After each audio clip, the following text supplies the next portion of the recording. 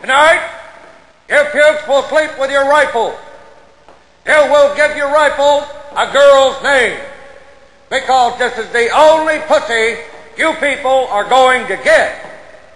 Your days of finger banging old Mary Jane Rottencrotch through her pretty pink panties are over. You're married to this piece, this weapon of iron and wood, and you will be faithful.